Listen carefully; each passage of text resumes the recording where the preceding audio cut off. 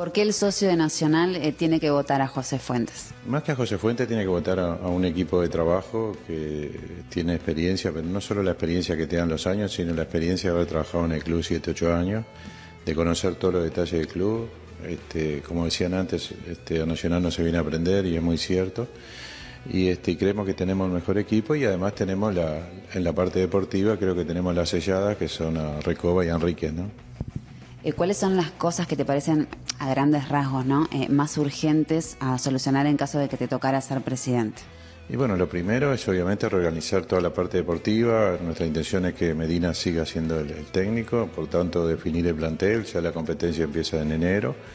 Este, eh, vence 14 contratos, tenemos que definir también eso. Y después, lo otro que es urgente, y es, yo te diría concomitante con eso, es este, equilibrar el club en todo lo que hace al, al aspecto económico financiero.